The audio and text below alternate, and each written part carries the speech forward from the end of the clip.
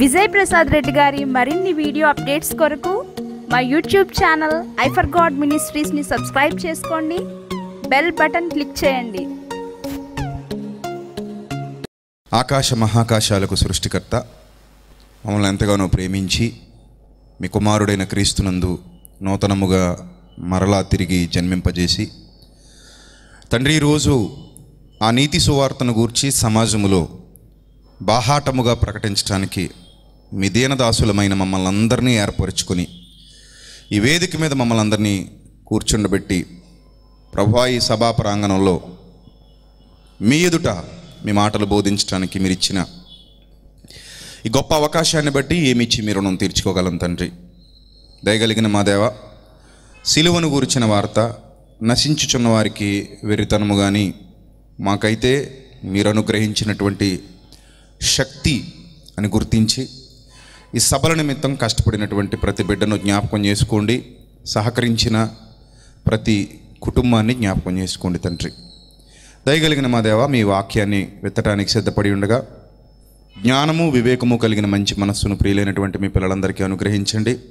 మీ సత్యవాక్యమును సరిగా విభజించి ఉపదేశించడానికి గాను మీ సమయోచితమైన జ్ఞానాన్ని మరి ముఖ్యంగా మా ఎందు మీరు నివసింపజేసిన మా అందరి ఆదరణకర్త అయిన పరిశుద్ధాత్మని సహాయాన్ని మెండుగా ప్రసాదించమని క్రీస్తు నామంలో ఈ ప్రార్థన మనవులు అడిగి మా కన్న తండ్రి. ఆమె ప్రియమని దేవుని ప్రజలరా మరణము అనేది దేవుని యొద్దకు వెళ్ళటానికి లోకులందరూ పోవలసినటువంటి ఒక మార్గం. లోకులందరూ పోవలసిన మార్గమున నేను పోచున్నాను అని భక్తుడు మాట్లాడినట్టుగా మరణ ద్వారాలు తెరవబడిన తర్వాత మనిషి శాశ్వతంగా దేవునికి దూరమైపోయేటువంటి పరిస్థితి ఏర్పడింది. దేవుని యొద్దకు తిరిగి చేరవలసినటువంటి మానవుడు దేవుని యొద్దకు తిరిగి చేరలేక దేవుని సన్నిధిలో అడుగు పెట్టలేక దేవుడున్న లోకానికి వెళ్ళలేని పరిస్థితిలో దేవునికి దూరంగా. పాపము చేత పట్టబడిన వాడుగా పాపము యొక్క అధికారము క్రింద ఉన్నవాడిగా. శిక్షార్హుడిగా. శిక్ష భరించవలసిన వాడుగా ఒక ఎడబాటు అనే దానికి గురవుతున్నాడు. ఇలా ప్రతి మానవుడు ఆ ఎడబాటుకు గురవటం పరలోకపు తండ్రి సన్నిధానానికి చేరుకోలేకపోవటం అలా చేరుకోవడానికి పాపాన్ని జయించేంతటి శక్తిని సంతరించుకోవడం మానవ జీవితంలో అసాధ్యంగానే మిగిలిపోయింది తప్ప అది ఎందుకో సుసాధ్యం కాలేదు. నాటి అనాగరిక జీవనం నుండి నేటి నాగరిక జీవనం అని చెప్పుకుంటున్నటువంటి ఈ కాలం వరకు కూడా మానవుడు ఎంత పురోగతిని సాధించినప్పటికీ ఎంత అభ్యున్నతిని సాధించినప్పటికీ కూడా పాపం విషయంలో తిరోగమనానికే గురవుతున్నాడు. పురోగమనం ఏమీ లేదంతా తిరోగమనమే. ఎందుకు పాపం విషయంలో తిరోగమనానికి గురవుతున్నాడు? ప్రతి తరంలోనూ మానవ జాతి ఎందుకు భ్రష్టు పట్టిపోతుంది? ప్రతి తరంలోనూ మానవులు ఎందుకు భ్రష్టు పట్టిపోతున్నారు? ప్రతి తరం కూడా ఎందుకు భయంకరంగా చెడిపోతూ వస్తుంది? ఎంత అభివృద్ధి చెందుతున్నాడో అంత పతనావస్థకు ఎందుకు వెళ్ళిపోతున్నాడు అనే విషయాన్ని మనం ఆలోచిస్తే పాపాన్ని జయించటం అనేది సామాన్యమైన సంగతి కాదు. దానికి ఎవడూ అతీతుడు కాడు. అందరూ కూడా పాపం చేత పట్టబడిన వారే అందరూ పాపాన్ని చేసిన వారే అందరూ ఆజ్ఞాతిక్రమం చేసిన వారే అని చెప్పక తప్పదు. ఆ సంగతి ఈ సభా ప్రాంగణంలో కూర్చున్న మీకే కాదు ప్రపంచంలో ఉన్న ప్రతి ఒక్కరికి తెలుసు. ఎవని మనస్సాక్షిని వాడు ప్రశ్నించుకుంటే పైకి పెదవుల మీద నుండి ఎన్ని ప్రగల్భాలు పలికినప్పటికీ పెదవుల మీద నుండి ఎన్ని అబద్ధాలు దాటవేసినప్పటికీ హృదయాంతరంగాలలో మనస్సాక్షి అనేది ఒకటి ఉంటుంది. ఆ మనస్సాక్షి ఖచ్చితంగా చెబుతుంది నువ్వు పాపము చేత పట్టబడిన వాడవని నువ్వు అపరాధివని అపరాధములో ఉన్నవాడవని బురదలో కూరుకుపోయిన వాడవని ప్రతి మనస్సాక్షి చెబుతుంది. అలా మనస్సాక్షి చేత గద్దెంపబడుతున్నటువంటి మానవులు తాము పాపులమని ఒప్పుకోక తప్పట్లేదు.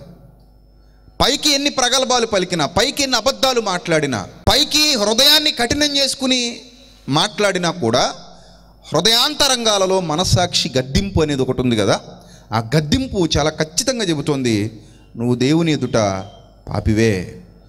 నువ్వు దేవునికి విరోధంగా బ్రతికిన వాడవే నువ్వు దేవునికి భిన్నంగా నడిచిన వాడవే ఎప్పుడైతే మానవుడు ఈ పాపము యొక్క బారిన పడ్డాడో దేవునితో సహవాసాన్ని తెంపేసుకున్నాడు. దేవునితో అనుబంధాన్ని కట్ చేసుకున్నాడు. దేవునితో ఎప్పుడైతే సహవాసం తెగిపోయిందో దేవునితో ఎప్పుడైతే అనుబంధం కట్ అయిపోయిందో దేవుడున్న లోకానికి మరణానంతరం వెళ్ళగలిగే స్థితిలో మానవుడు లేకుండా పోయాడు. అందుకే ప్రభు చాలా స్పష్టంగా చెబుతారు పరలోకము నుండి వచ్చిన వాడను నేనే పరలోకమునకు ఎక్కిపోయేవాడను నేనే. ఆయన వచ్చింది ఆయనే ఎక్కిపోయింది ఆయనే ఏ మానవుడు కూడా వెళ్ళలేకపోయాడు అంటే కారణం మీ అందరికీ తెలుసు. పాపులకు పరలోకంలో చోటు లేదు. పరిశుద్ధులకు తప్ప పరిశుద్ధుడున్న లోకంలో పాపులకు చోటు లేదు. ఎవడైనా సరే ఒక పార్టీ స్థాపిస్తే సరిపోదు. ఒక పార్టీకి నాయకుడైతే సరిపోదు అసెంబ్లీకి వెళ్ళటానికి. ఒక నియోజకవర్గానికి ఎమ్మెల్యే కూడా అవ్వాలి. ఒక పార్టీకి నాయకుడిని అయిపోయి నేను అసెంబ్లీలోకి వెళ్ళి కూర్చుంటానంటే రానివ్వరు. ఒక నియోజకవర్గానికి ఎమ్మెల్యే అయితేనే నేను ఎక్కడికి రాణిస్తారు అసెంబ్లీకి రాణిస్తారు అలాగే పాపులకు పరలోకంలో చోటు లేదు. పరిశుద్ధులు మాత్రమే అక్కడ ఉండాలి. పరిశుద్ధులకు మాత్రమే చోటు ఉంది. మరి ఎవరు పరిశుద్ధులు అంటే ఎవరు పరిశుద్ధతను కాపాడుకోలేకపోయారు? భూమి మీద ఎవ్వరూ కూడా తమ పరిశుద్ధతను కాపాడుకోలేకపోయారు. అందుకే భక్తుడు ఒక అద్భుతమైన మాట దైవ గ్రంథంలో పొందుపరిచాడు. చూద్దాం. కీర్తనల గ్రంథం ఎనభై తొమ్మిదో కీర్తన. కీర్తనల గ్రంథం ఎనభై తొమ్మిదో కీర్తన. నలభై ఎనిమిదో వచ్చిన నుంచి ఒక మాట చదువుదాం ప్రియులారా. మరణమును చూడక బ్రతుకునరుడెవడు అన్నాడు. మరణమును చూడక బ్రతుకునరుడెవడు? క్వశ్చన్ మార్క్ తర్వాత పాతాళము యొక్క వశము కాకుండా తన్ను తాను తప్పించుకొనగా గలవాడెవడు అని. పరలోకమునకు వెళ్ళాలా? పాతాళమునకు వెళ్ళాలా? మరణం తర్వాత పరలోకానికి వెళ్ళాలి కదా మరి?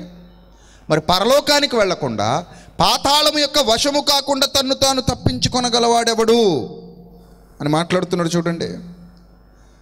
మరణము చూడక బ్రతుకున్నారు ఎవడు అంటే ప్రతి మనిషి ఏమవ్వాలి? మరణం చూడాలి మరణించాలి. ప్రతి మానవుడు మరణించాలి.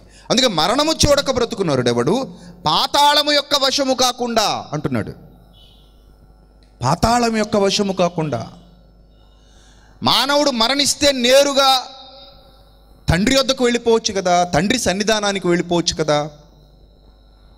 ఆదాము మొదలుకొని నేటి వరకు ఎందరో మరణించారు కదా భక్తులు. మరి మరణించిన భక్తులందరూ నేరుగా తండ్రి సన్నిధానానికి వెళ్ళిపోవచ్చు కదా? లేదు. ప్రతి మనిషి మీద పాపము అనేది ఏలుబడి చేస్తుంది. పాపం ప్రతి మనిషి మీద ఏలుబడి చేస్తుంది గనుక ఆ చనిపోయిన మానవుడు పాప క్షమాపణ పొందకుండా అతని పాపం తుడిచివేయబడకుండా అతని పాపం తీసివేయబడకుండా అతని పాపానికి విమోచన దొరకకుండా విమోచన సంపాదించుకోకుండా నేరుగా తండ్రి సన్నిధికి వెళ్ళిపోవడం అనేది సాధ్యం కాదు. అందుకే భక్తుడు చాలా స్పష్టంగా మాట్లాడుతున్నాడు. పాతాళం యొక్క వశము కాకుండా తన్ను తాను తప్పించుకొనగలవాడు ఎవడు అని. అంటే భక్తులుగా పిలువబడినటువంటి మహనీయులు కూడా ఎందరో మహానుభావులు ఉన్నారు బైబిల్ చరిత్రలో వాళ్ళందరూ కూడా మరణవశం అయిపోయారు మరణవశం అయిపోయిన వాళ్ళందరూ కూడా ఆ మరణంలోనే మగ్గిపోతున్నారు. ఆ పాతాళంలోనే ఉన్నారు. ఆ పాతాళ లోకంలోనే ఉన్నారు. కృపను పొందుకున్నవారు నెమ్మది పొందుతుంటే కృప లేనివారు కృపలో లేనివారు వేదనకరమైన స్థలంలో ఉన్నారు. మరణం తర్వాత మనం కూడా చూస్తాం అవి. ఈ క్షణంలో మనకి ఎందుకో నమ్మక నమ్మిక కలగకపోయినా మరణం తర్వాత మనం కూడా చూస్తాం. దానికి ఇంకెంతో సమయం లేదు. అతి కొద్ది దినాలలోనే మనం దాన్ని చూడబోతున్నాం. అతి కొద్ది దినాలలో మీ వయస్సును బట్టి దేవుడు మీకు ఇచ్చినటువంటి ఆయుష్కాలాన్ని బట్టి అతి కొద్ది దినాలలో మనం ఆ పరిస్థితిని కళ్ళారా చూడబోతున్నాం. ఇది సత్యం. ఆల్రెడీ మన ముందటి తరాల్లో లేదా మన ముందటి దినాలలో చాలామంది వెళ్ళిపోయారు మనవారు అనుకున్నవారు వెళ్ళిపోయారు వాళ్ళు ఆల్రెడీ చూసేశారు. ఇక మనం సిద్ధంగా ఉన్నాం మనం వెళతాం మనం కూడా వెళ్ళి చూస్తాం. చూడక మునిపే బైబిల్ మాట్లాడుతున్నటువంటి సత్యాన్ని మనం ఈ సమయంలో వింటున్నాం ప్రియులారా. జాగ్రత్తగా వినాలి. మనం అది చూడక మునిపే బైబిల్ మాట్లాడుతున్న సత్యాన్ని వింటున్నాం. ఏం మాట్లాడుతోంది బైబిలు? పాతాళము యొక్క వశము కాకుండా తనను తాను తప్పించుకొనగలవాడు ఎవడు?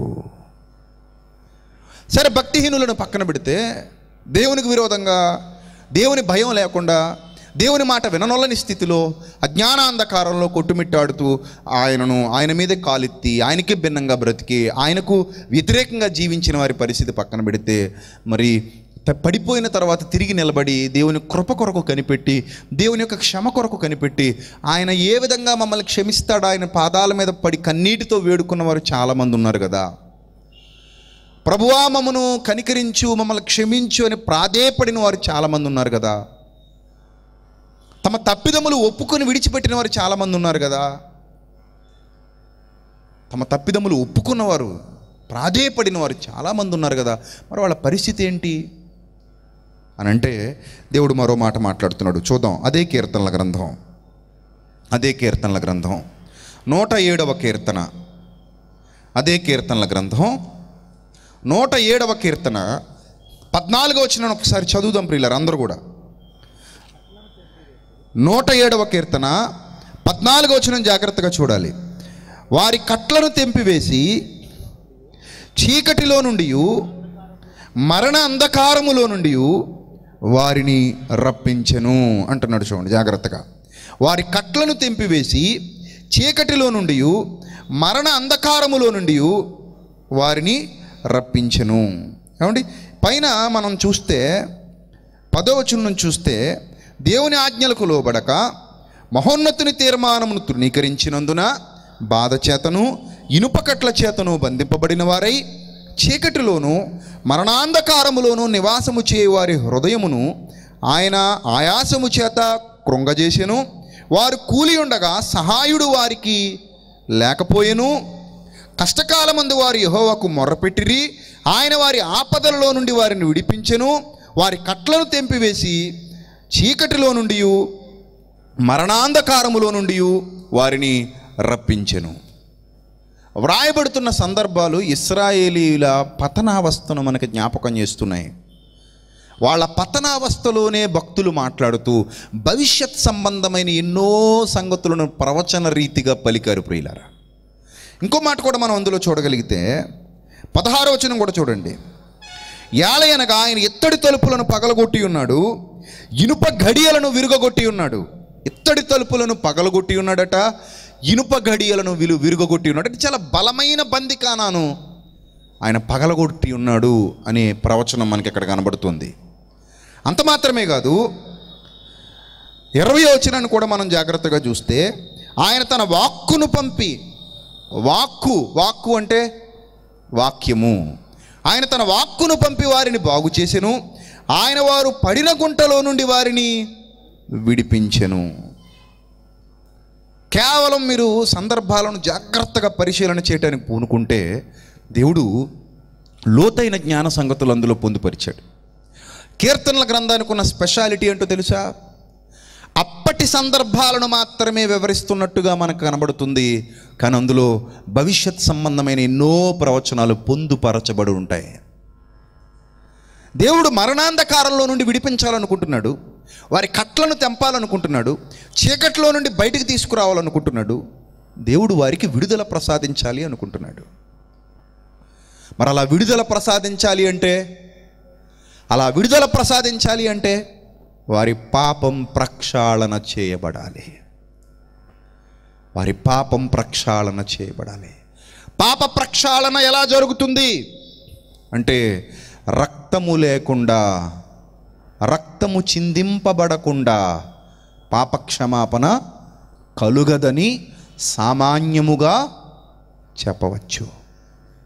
ఖచ్చితంగా రక్తం ధారపోయాలి. రక్త ప్రోక్షణ జరగాలి. రక్త ప్రోక్షణ జరగాలి. ప్రారంభం నుండి రక్త ప్రోక్షణ ప్రారంభం నుండి రక్త ప్రోక్షణ జరగాలనే ఒక నియమం కనబడుతోంది. ఇస్రాయేలీలు కూడా బలులిస్తున్నారు అంటే బలి ఎందుకు సమర్పిస్తున్నారు అని మీరు జాగ్రత్తగా ఆలోచిస్తే వారు చేసిన పాపములను బట్టి వారు నిర్దోషమైన గొర్రెలను నిర్దోషమైన పశువులను ఏం చేస్తున్నారు? బలిస్తున్నారు. కేవలం ఇస్రాయేలీలైనా గ్రీసు దేశస్తులు కూడా అదే విధానాన్ని అనుసరించారు అన్యజనులు. గ్రీసు దేశస్తులు ఇచ్చేటువంటి బలులు చాలా ఎక్కువ. ఒక రకంగా చెప్పాలనుకుంటే ఇస్రాయేలీల కంటే ఎక్కువ బలులు వారు తమ దేవుళ్ళకు దేవతలకు సమర్పించేవారు. ఇక అన్యజనుల విషయానికి వస్తే గ్రీసు దేశస్తులు కూడా అన్యజనులే. ఇంకా మిగిలిన అన్యజనుల విషయానికి వస్తే ఇంకా చాలా అన్య జనాంగాలు మనకు దైవ గ్రంథంలో కనబడతాయి. అన్య జనాంగాలు అందరూ అనుసరించిన విధానం ఏంటంటే వాళ్ళు తమ తమ దేవుళ్ళకు తమ తమ దేవతలకు బలులు సమర్పించేవారు. ముఖ్యంగా మన భారతీయ సంప్రదాయంలో కూడా మనం కూడా మనం కూడా రక్షణలోనికి రాకమునుపు బలులు సమర్పించే వాళ్ళం ఆ సంగతి మనందరికీ తెలుసు. మనం కూడా బలులు సమర్పించాం. చాలామంది చాలామంది చాలా చోట్లకు వెళ్ళి బలులు అర్పించి వచ్చేవాళ్ళు ఎందుకు బలులు అర్పిస్తున్నారు? బలులు అర్పించడంలోని ప్రధానమైన ఉద్దేశం ఏంటి? బలెందుకు అర్పించాలి? ఒక మానవుడు ఒక జంతువు రక్తాన్ని ఎందుకు చిలికించాలి? వంద ఒలికించాలి? ఒక మానవుడు ఒక జంతువు రక్తాన్ని ఎందుకు బలిపీఠం మీద అర్పించాలి? ఈ క్వశ్చన్ రేజ్ అయితే ఆ క్వశ్చన్కు ఉన్న ఒకే ఒక ఆన్సర్ మన పూర్వీకులందరూ అనుసరించినటువంటి విధానం అన్ని దేశాలలోని ప్రజలు అన్ని ప్రాంతాలలోని ప్రజలు అనుసరించినటువంటి విధానం బలి అనేది పాప క్షమాపణ కొరకు లేదా పాప నివారణ కొరకు. పాప నివారణ కొరకు పాప క్షమాపణ కొరకు ప్రతి మానవుడు బలిని ఆశ్రయించాడు. ప్రతి చోట అదే జరిగేది. ఏ మతమైనా మీరు పరిశీలన చేయండి. నా మాటలు మీరు గుడ్డిగా నమ్మొద్దు. ఏ మతాన్నైనా మీరు పరిశీలన చేయండి. అన్ని మతాల్లో దాదాపుగా మనకు కనబడుతుంది జంతు బలి. ఎందుకు జంతు బలి కనబడుతుంది అంటే వారు తమ పాప ప్రక్షాళన కొరకు రక్తాన్ని చిందించాలి అని బలంగా మన పూర్వీకుల కాలం నుండి కూడా విశ్వసిస్తూ వస్తున్నారు. అటు అన్య జనాంగాలు చూసినా ఇటు యోధ జాతిలో చూసినా యోధ జాతికి ముందటి తరాల్లో మనం చూసిన బలులనేవి మనకు కనబడుతున్నాయి. ఎవరు చెప్పారు ఇలా? ఎవరు నేర్పించారు వీళ్ళకి ఇలా? ఎవరు నేర్పిస్తే వాళ్ళు నేర్చుకున్నారు? అసలు ఎందుకు ఈ భావజాలం వాళ్ళ హృదయాలలోనికి చొచ్చుకుపోయింది? అని ఆలోచించండి. జలప్రళయం సంభవించిన తర్వాత కూడా జలప్రళయం సంభవించిన తర్వాత కూడా నోవహు గారు చేసిన పని ఏంటి ఏం చేశారు ఆయన? బలర్పించాడు. బలర్పించాడు ఆయన కూడా. అబ్రహాము గారి కాలంలో కూడా ఏమున్నాయి? బలులున్నాయి. సో ఈ బలి అనే ప్రస్తావన ఏంటి? మానవులు ఎందుకు దీంతో ఇంతగా మమేకమైపోయారు? మనం దీన్ని అబ్జర్వ్ చేస్తే బైబిల్ గ్రంథంలో విశిష్టమైన సందర్భాలు వ్రాయబడ్డాయి ప్రియులరా విశిష్టమైన సందర్భాలు వ్రాయబడ్డాయి.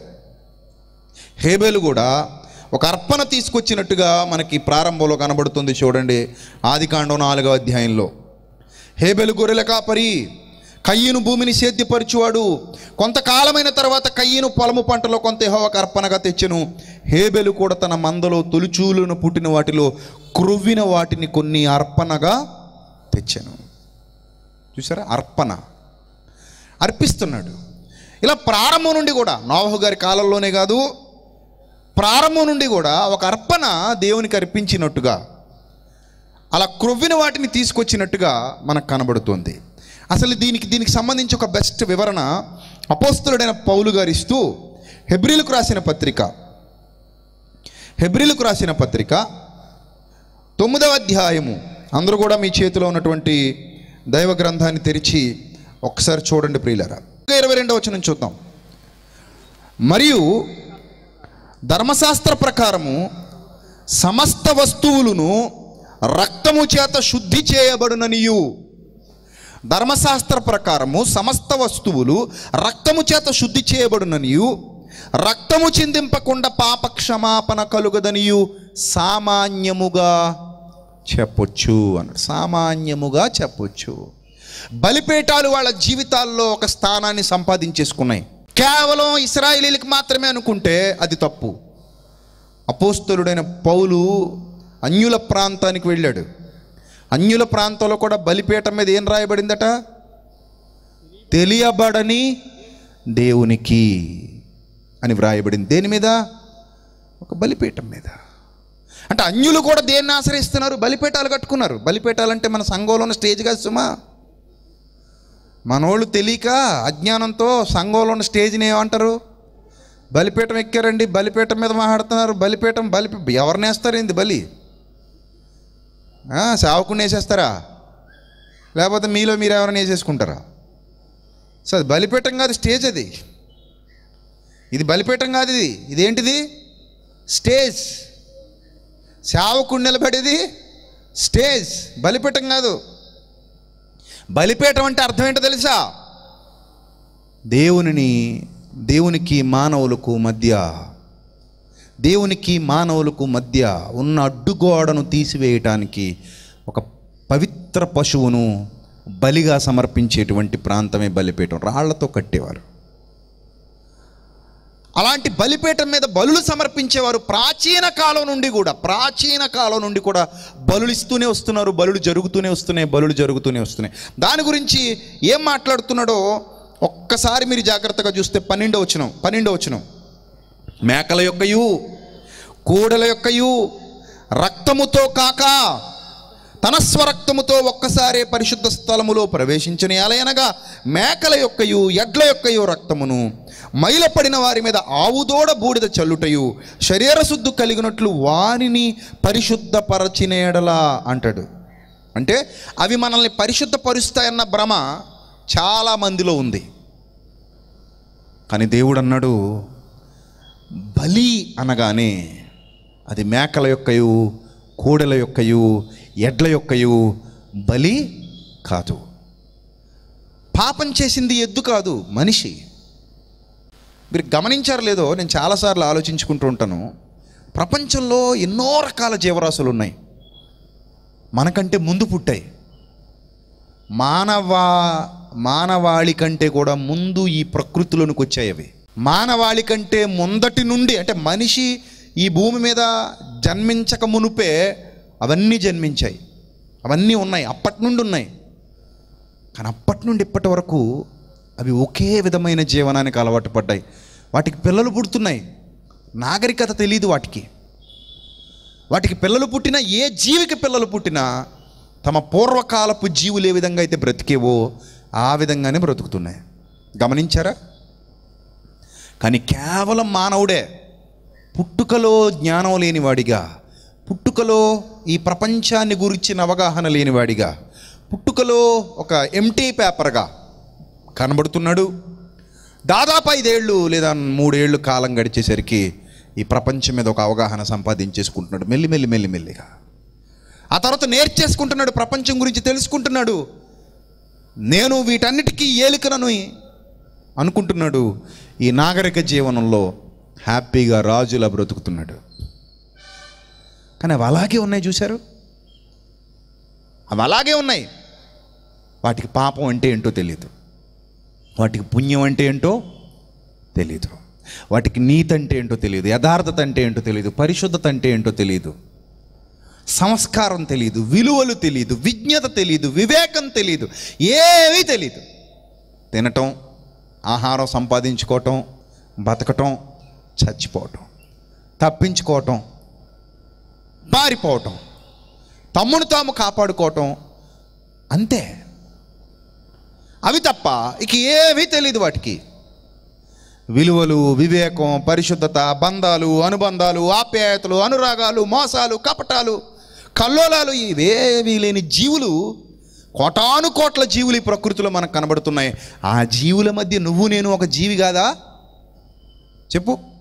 ఆ జీవుల మధ్యలో మనం కూడా ఒక జీవి నువ్వు నేను ఒక జీవి అంతే. అయినప్పటికీ వాటికి మనకి ఉన్న వ్యత్యాసం మీకు తెలుసు. వాటికి మనకి ఉన్న వ్యత్యాసం ఏ స్థాయిలో ఉందో మీకు తెలుసు. మనకున్న జ్ఞానం వాటికి లేదు. మరి మనం చేసిన పాపాలకు వాటి బలి సరిపోతుందా? మనం చేసిన అతిక్రమ క్రియలకు వాటి బలి సరిపోతుందా?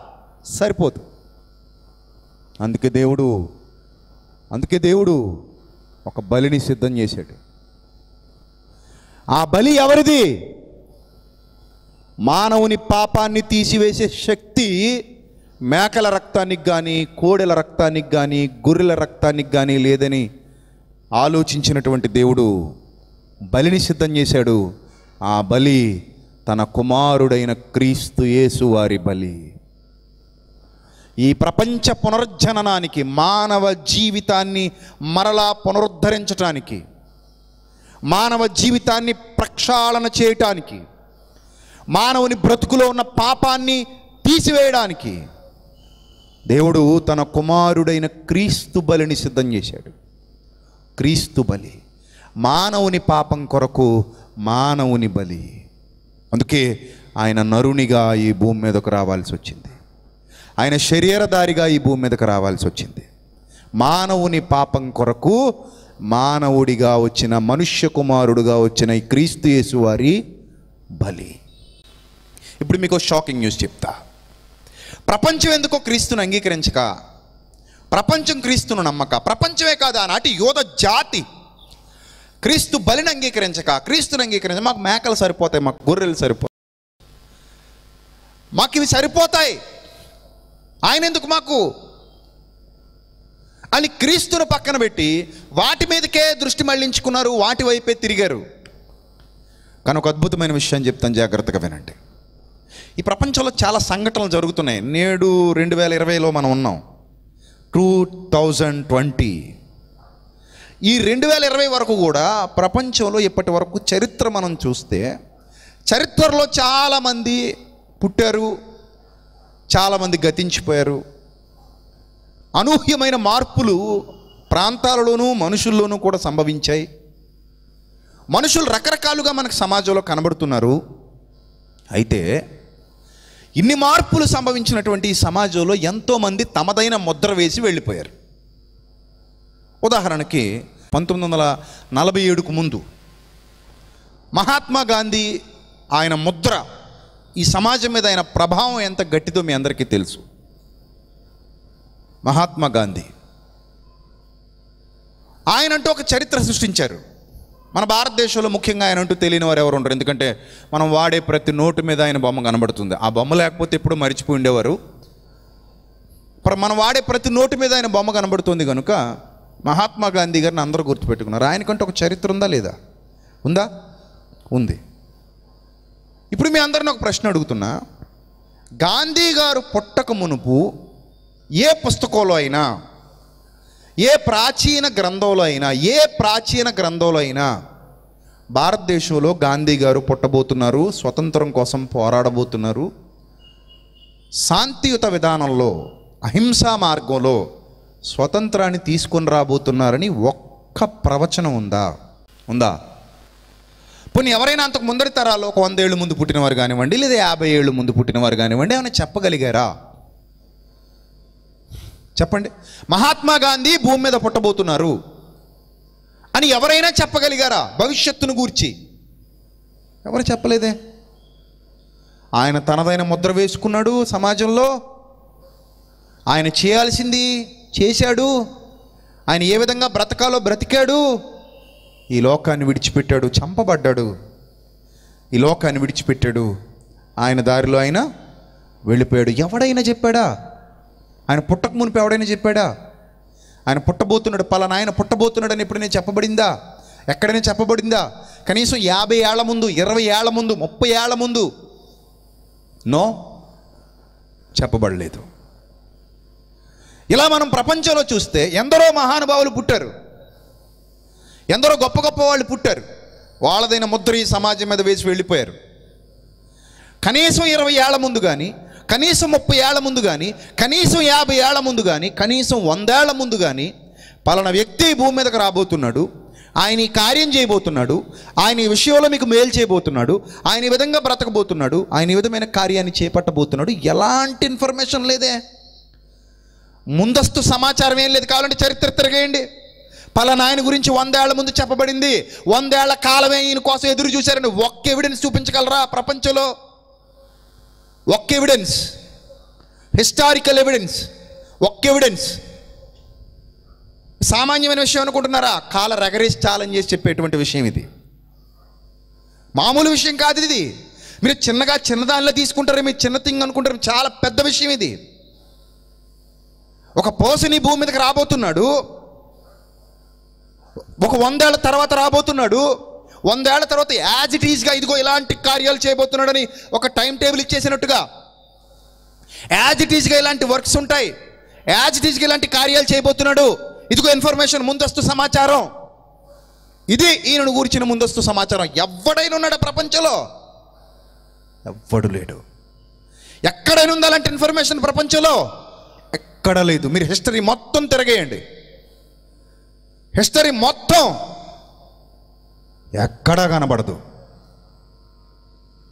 మరి ఇన్ని తరాలు గతించాయి కదా ఇంతమంది సమాజం మీద ముద్ర వేశారు కదా ఇంతమంది సమాజంలోకి వచ్చారు కదా అందులో మంచి వాళ్ళు ఉన్నారు చెడ్డవాళ్ళు ఉన్నారు కదా ఒక్కడిని గూర్చిన ముందస్తు సమాచారం కూడా ఒక్క బుక్లో కూడా వ్రాయబడలేదంటే దానికి అర్థం ఏంటి మీరు చెప్పాలి?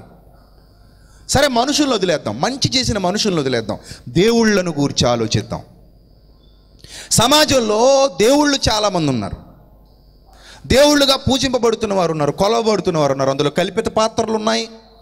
వాస్తవంగా పుట్టిన వారిని కూడా దేవుళ్ళుగా కొలిచిన సందర్భాలు కూడా ఉన్నాయి. కానీ పలన ప్రాంతంలో పలన దేవుడు పుట్టబోతున్నాడని ముందస్తు సమాచారం ఎప్పుడైనా వచ్చిందా? ముందస్తు సమాచారంతో ఈయన దేవుడు దేవుడు పుట్టాడు పుట్టబోతున్నాడు లేదా పుట్టాడు పుట్టిలా చేయబోతున్నాడని అలా అలా ముందస్తు సమాచారం ఒక్క యాభై ఏళ్ళ ముందు చాలు. Only fifty years. లేదు ఓన్లీ ట్వంటీ ఫైవ్ ఇయర్స్ ఒక ట్వంటీ ఫైవ్ ఇయర్స్ ముందు పలానా ఆయన పలానా ప్రాంతంలో పుట్టబోతున్నాడు. పలానా ప్రాంతంలో పుట్టి సరిగ్గా పాతికేళ్ళ తర్వాత సరిగ్గా యాభై ఏళ్ళ తర్వాత ఇదిగో ఈ ప్రపంచం కోసం ఇలాంటి కార్యాలు చేయబోతున్నాడు. ఈ సమాజం కోసం ఇలాంటి మహోన్నతమైన కార్యం చేయబోతున్నాడు. ఆయన దేవుడుగా కొలవబడతాడు. ఆయన అనేకుల చేత పూజింపబడతాడు. ఆయన అనేకులకు ఇదిగో ఇలాంటి మేలు చేయబోతున్నాడు అని ఏదైనా ముందస్తు సమాచారం ఉందా? ఎక్కడా లేదు. మీరు వెతకండి కావాలనుకుంటే. పుస్తకాల షాపులకు వెళ్ళి ఎదుగుతారా గ్రంథాలయాలకు వెళ్ళి వెతుకుతారా లైబ్రరీస్కి? లేకపోతే మీ చేతిలో ఉన్నటువంటి మొబైల్లో ఇంటర్నెట్లో వెతుకుతారా? మీ ఓపిక. You can try and find but నీకేమీ దొరకదు. నీకేమీ దొరకదు. ఎందుకంటే ఒక వందేళ్ళ ముందు కానీ ఒక ఇరవై ఏళ్ళ ముందు కానీ ఒక యాభై ఏళ్ళ ముందు కానీ ఎలాంటి ముందస్తు సమాచారం లేదు. యాజ్ ఇట్ ఈజ్గా ఆ ముందస్తు సమాచారం ప్రకారంగా జరిగిన జరిగిన విధానం జరిగిన చరిత్ర కూడా మనకి ప్రకృతిలో లేదా ప్రపంచంలో ఎక్కడ కనబడదు. కానీ ఒక అద్భుతమైన వాస్తవం ఈరోజు మీతో పంచుకుంటాను. జాగ్రత్తగా వినండి. జాగ్రత్తగా వినండి. యేసుక్రీస్తు ప్రభువు సర్వమానవాళి పాప ప్రక్షాళన కొరకు సర్వమానవాళి పాప పరిహారం కొరకు ఈ భూమి మీదకు రావాలి. మానవుల కొరకు మానవ రూపంలో ఆయన భూమి మీద అడుగుపెట్టి ఏ మానవుడు సాధించలేని ఘనత ఆయన సాధించి చూపించి పాపముతో పోరాడి గెలిచి సర్వమానవాళి పాపముల కొరకు పరిశుద్ధుడుగా తన పవిత్ర రక్తాన్ని కలువరి శిలువలో ధారపోయాలి. తన పవిత్ర రక్తాన్ని చిందించాలి. సరే చిందించాలి. చిందించడానికి ముందస్తు సమాచారం. ముందస్తు సమాచారం అంటే చాలా ఎవిడెన్సెస్ ఇవ్వచ్చు. అలా ముందస్తు సమాచారం ఎప్పుడైనా ఇవ్వబడిందా అంటే ఒకసారి నా నా వెనక స్క్రీన్ మీద హీబ్రూ బైబిల్ నేడున్న హీబ్రూ బైబిల్ చూపిస్తున్నాను చూడండి. Latest Hebrew Bible. అది హీబ్రూ బైబిల్. ఈ హీబ్రూ బైబిలు మీరు చూస్తున్నది యషయా గ్రంథం. ఈ ఈ మీరు చూస్తున్న లైన్స్ అన్నీ. యషయా గ్రంథం పర్టికులర్గా యాభై మూడు అధ్యాయం. చూశారు కదా? యూదులు ప్రపంచం మీద ఒక చెరగని ముద్ర వేసిన యూదులు. మన భారతదేశంలో కూడా ఉన్నారు. ఈ మధ్యనే వాళ్ళు మన మన నరేంద్ర మోదీ గారికి ఒక గిఫ్ట్ కూడా బహుకరించారు. తెలుసు మీకు ఈ సంగతి. ఏమండి? ఆ యూదులు ఎంతో పవిత్రంగా భావించేటువంటి పాత ధర్మశాస్త్రం. తోరా అంటారు. పంచకాండాలు తోరా అని పిలువబడతాయి. ఆ పాత ధర్మశాస్త్రానికి సంబంధించిన ముఖ్య ప్రవక్తలలో అతి ప్రాచీన ప్రవక్తలలో అతి పురాతన ప్రవక్తలలో పేరెన్నికగన్న ప్రవక్త యషయా గారు.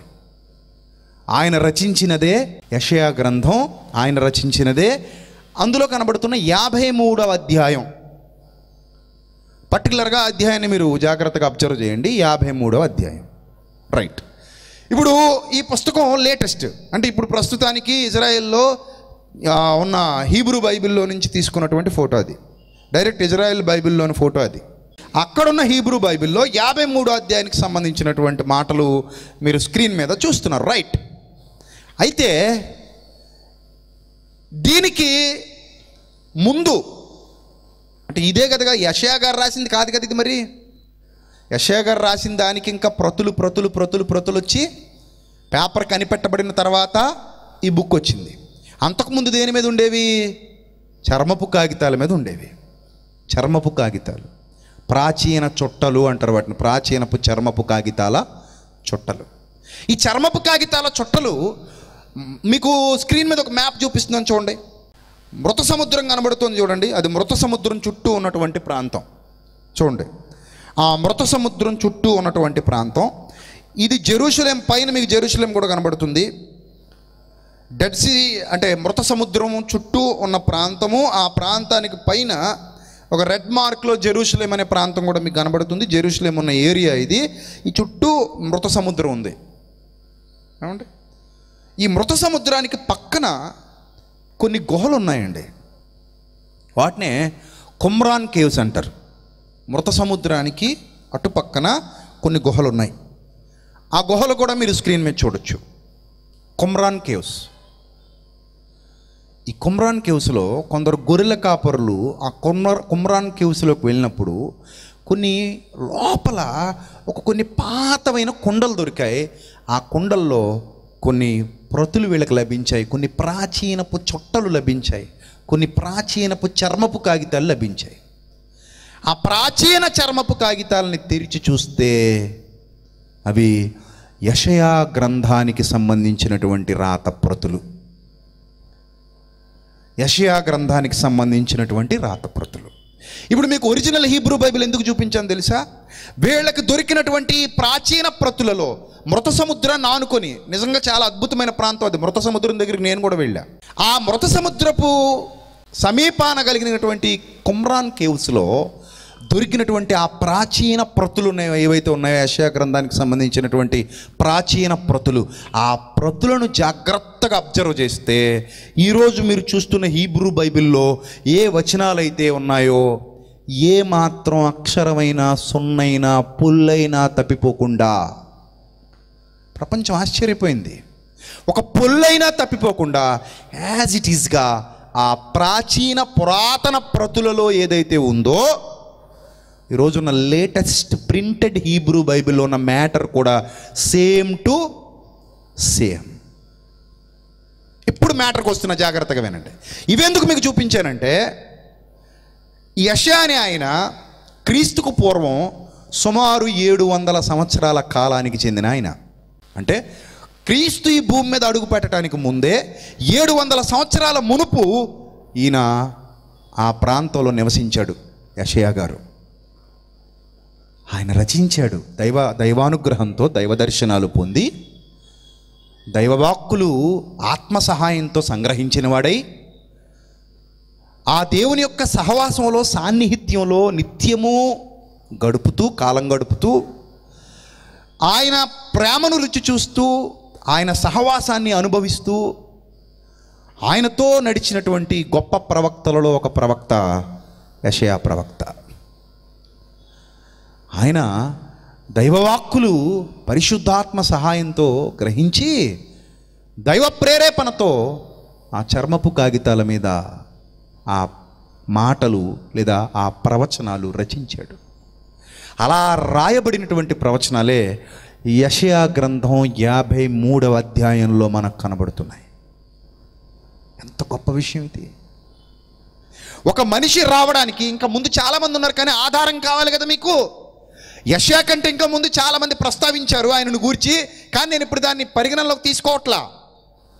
ఎందుకు పరిగణనలోకి తీసుకోవట్లేదంటే కుమ్రాన్ కేవ్స్లో మనకు లభించినటువంటి ఈ ప్రతుల ఆధారంగా ఈరోజు మనం చూస్తున్న హీబ్రూ బైబిల్లో వ్రాయబడినటువంటి ఆ ఆ మాటల ఆధారంగా ఈరోజు తెలుగులోకి ఆదిమ హీబ్రూ మరియు గ్రీకు భాషల్లో నుండి తర్జుమా చేయబడిన చాలామంది మూర్ఖులు అనుకుంటారు ఇంగ్లీష్ బైబిల్లో నుంచి తెలుగు ట్రాన్స్లేట్ చేశారు అనుకుంటారు ఇంగ్లీష్ని ఆధారం చేసుకోలేదు తెలుగు ట్రాన్స్లేషన్కి. తెలుగు ట్రాన్స్లేషన్కి దేన్ని ఆధారం చేసుకున్నారు? హీబ్రూనే ఆధారం చేసుకున్నారు.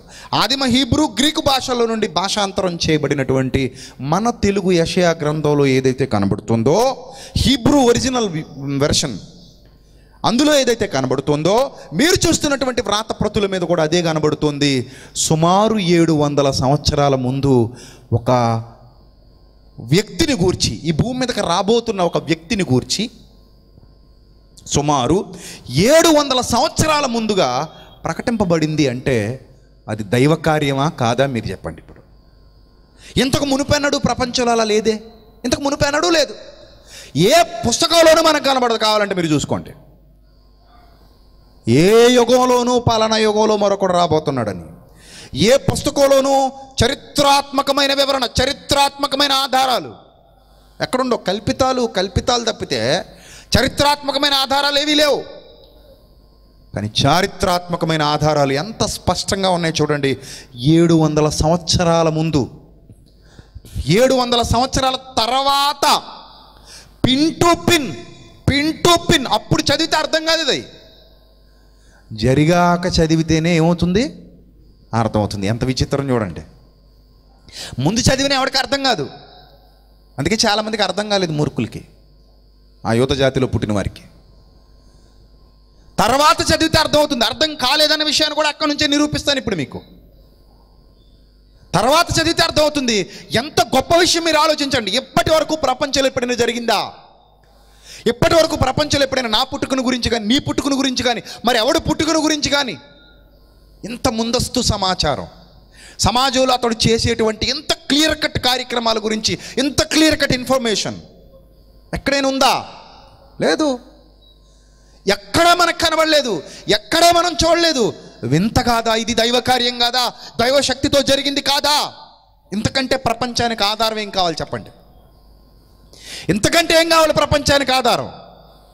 సర్వమానవాళి పాప పరిహారం కొరకు సర్వోన్నతుడైన తండ్రి తన కుమారుడైన క్రీస్తును ఈ లోకానికి పంపించబోతున్నాడని ఆయన రాకమునుపే ఏడు వందల సంవత్సరాల ముందు ఎంత క్లియర్ ఇన్ఫర్మేషన్? జరగబోతున్న కార్యాన్ని గురించి ఇంత స్పష్టమైన ఇన్ఫర్మేషన్. నేను యాభై మూడు అధ్యాయం ఒకటే ప్రస్తావిస్తున్నా కానీ యషయా గారి గ్రంథంలో ఇంకా చాలా ప్రవచనాలు ఉన్నాయి. ఇంకా చాలా ఉన్నాయి కానీ నేను ఒక యాభై మూడు ఎందుకు ప్రస్తావిస్తున్నానంటే సందర్భం అదే మనం మాట్లాడుకుంటున్నాం కాబట్టి. మనం మాట్లాడుకుంటున్న సందర్భం కాబట్టి నేను అదే ప్రస్తావిస్తున్నా. ఎందుకు ఇంత బలంగా ప్రస్తావిస్తున్నానంటే ఏడు వందల ఏళ్ళ ముందు ఎవడి గురించి అయినా ఇలా చెప్పబడిందా? వంద రెండు వందలే దిక్కులేదు వంద రెండు వందల దాకా ఎందుకు? పాతికకి యాభైకే దిక్కులేదు పదికి పదిహేనుకే దిక్కులేదు గట్టిగా మాట్లాడితే ఒక్క రోజుకి ఐదు రోజులు కూడా లేదు. ఇంకెంతకంటే ఏమనాలి?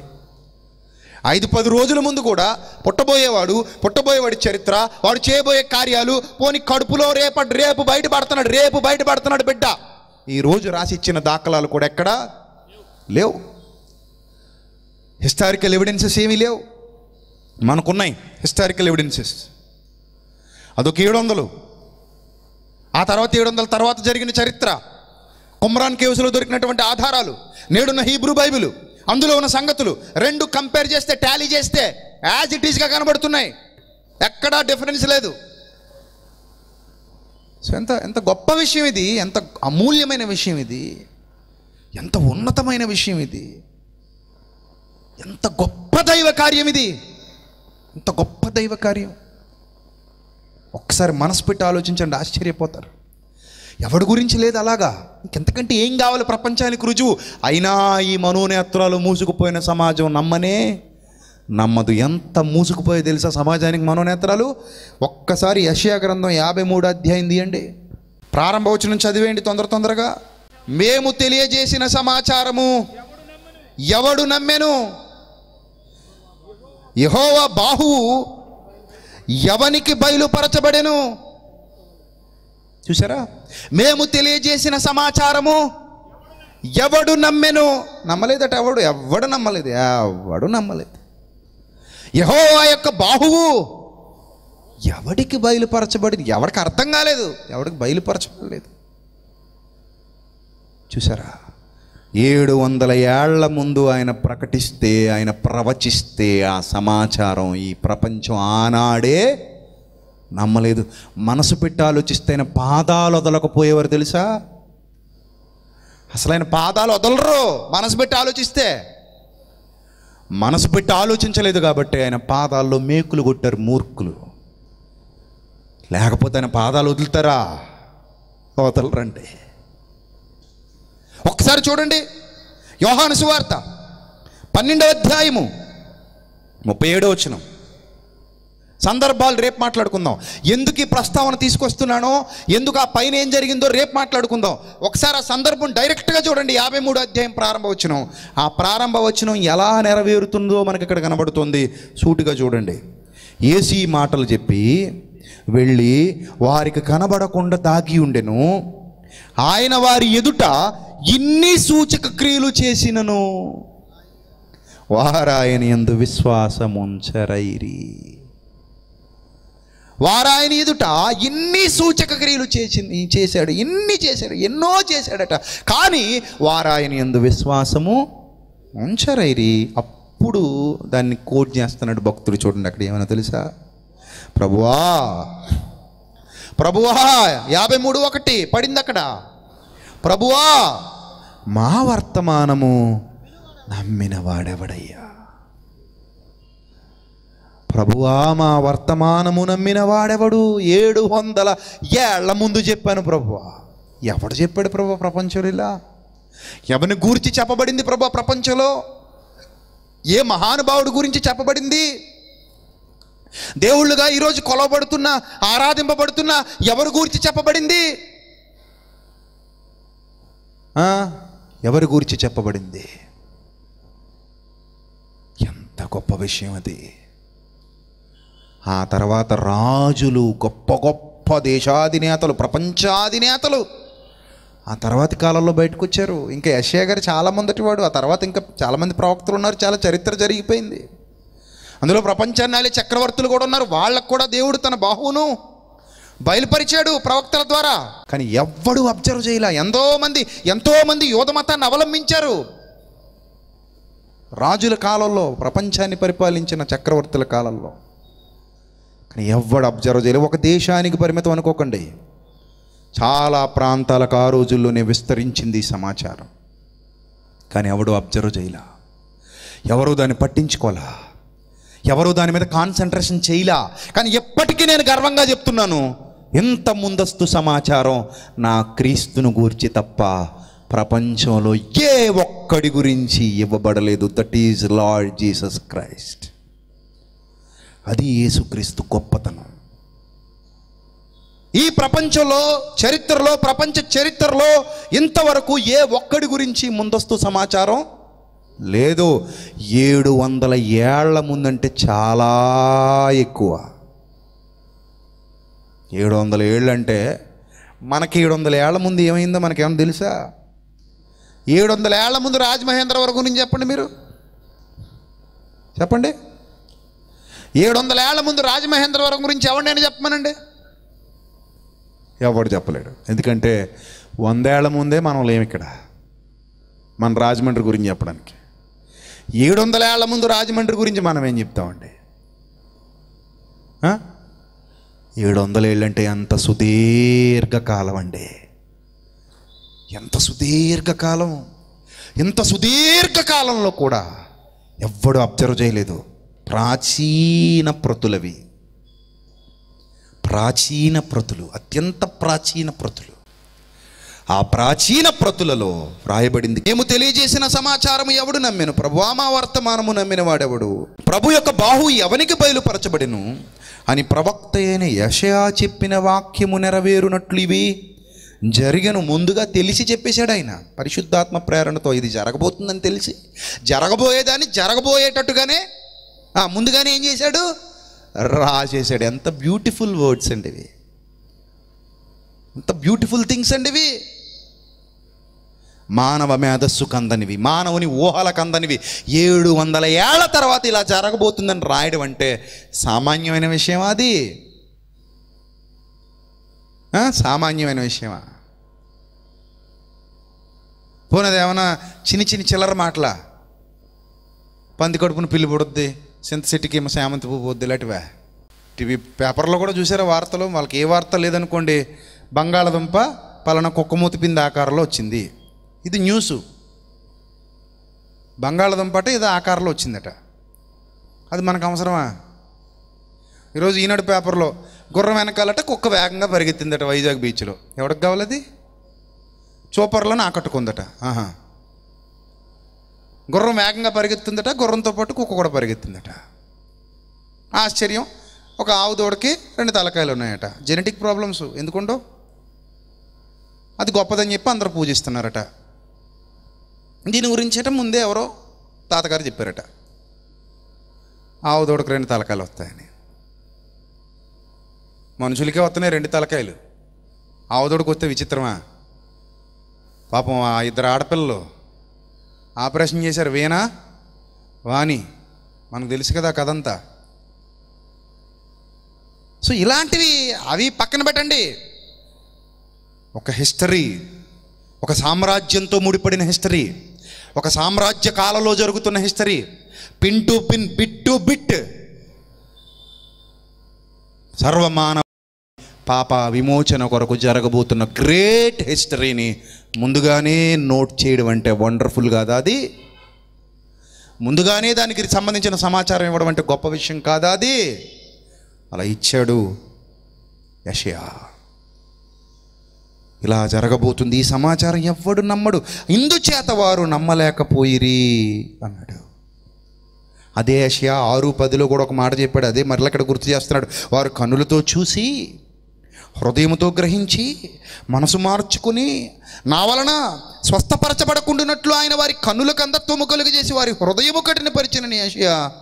మరొక చోట చెప్పాను ఇంక ఇక్కడ వండర్ఫుల్ వర్డ్ అందరూ అండర్లైన్ చేసుకోండి అందరూ అండర్లైన్ చేసుకోండి. పరిశుద్ధాత్ముడు అతనికి ఇచ్చిన భాగ్యం ఏంటో తెలుసా? ఏడు వందల సంవత్సరాల ముందు నలభై ఒకటో వచ్చిన పరిశుద్ధాత్ముడు ఆయనకి ఇచ్చేసిన ఆ అనిర్వచనీయమైన వర్ణింపసఖ్యము కాని వర్ణనాతీతమైన ఆ మహాద్భుతమైన భాగ్యం ఏంటో తెలుసా? యషయ ఆయన మహిమను చూచినందున. నిజంగా చెప్తుంటేనే ఒళ్ళు పులకరించిపోతుంది యషయ గారు ఎలా ఫీల్ అయ్యారు. ఆ దర్శనాలు చూసి. ఆ దర్శనాలు ఏడు వందల ఏళ్ళ ముందు చూశాడట. యశ ఆయన మహిమను చూచినందున ఆయనను గూర్చి మాటలు చెప్పాను. ఏడు వందల ఏళ్ళ తర్వాత భూమి మీద జరగబోతున్న మహా ఉన్నతమైన కార్యాన్ని ఏడు వందల ఏళ్ళ ముందే చూశాడండి. ఆ మహోన్నతుని మరణ సంబంధమైన సంగతుల్ని. ఆ మహోన్నతుడు ఈ భూమి మీదకి వచ్చి ఏం చేయబోతున్నాడో అవన్నీ ఏడు వందల ఏళ్ళ ముందు చూశాడట. ఎంత పులకరించిపోయి ఉంటాడో ఆయన చూసిన సంగతుల్ని ఏం చేశాడట? చెప్పాడట. What a wonderful history. What a beautiful history. కానీ మనుషులు నమ్మలేదట. ఈరోజుకి అదే జరుగుతుంది. ఈరోజుకి అదే మానవాళి అజ్ఞానం కనబడుతుంది మానవాళి అజ్ఞానం బయటకు వస్తుంది. కానీ ఆలోచించండి ప్రియులరు ఎంత అద్భుతమైన సంగతులు దైవ గ్రంథాలు వ్రాయబడ్డాయి. కట్టుకథలు కాదే కల్పనా కథలు కాదే కిట్టించేసి చెప్పేటువంటి మాటలు కాదే. స్పష్టమైన లేఖనాలతో కూడినటువంటి ఆధారాలతో కూడినటువంటి మాటలు. గ్రహించిన వాడు ధన్యుడు. గ్రహించిన వాడు ధన్యుడు. అర్థం చేసుకున్నవాడు ఆనంద పరవశుడు అర్థం కానివాడు అవివేకి మూర్ఖుడు. మనసుకు ముసుగు దొడుక్కుని కూర్చున్నవాడు.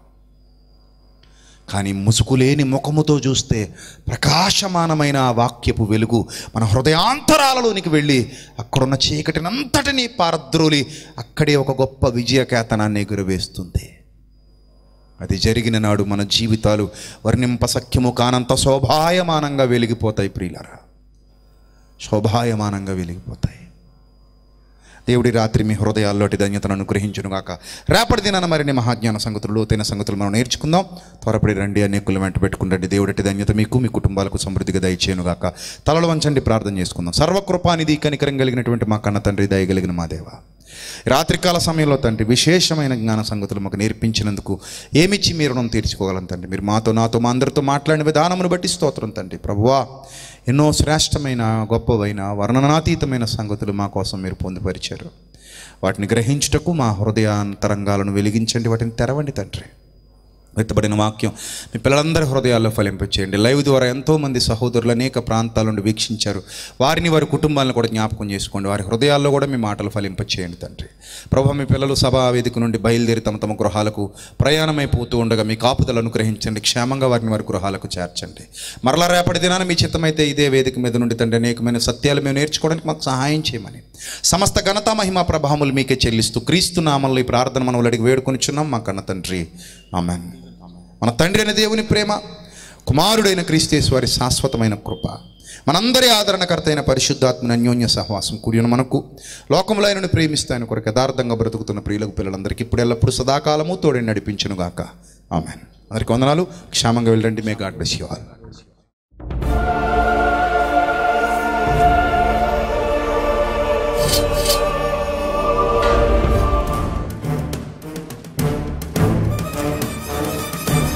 ఆది నీవే అంతం నీవే ప్రభవం నీవే ప్రళయం నీవే అల్ఫయు నీవే ఓమఘయు నీవే విలయం నీవే స్థిర నిలయం నీవే. గగనం భువనం సకలం నీవే జగతిని నడిపే జ్యోతివి నీవే. సమరం అమరం సర్వము నీవే అన్ని నామాలు ప్రణమిల్లే సర్వోన్నత నామం నీవే. సర్వోన్నత నామం నీవే.